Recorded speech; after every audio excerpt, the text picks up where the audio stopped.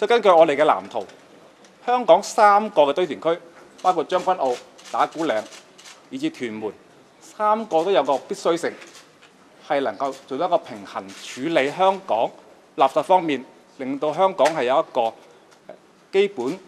市政衞生嘅需要。所以三個呢，我哋都會喺適當時候呢，係會重提嘅。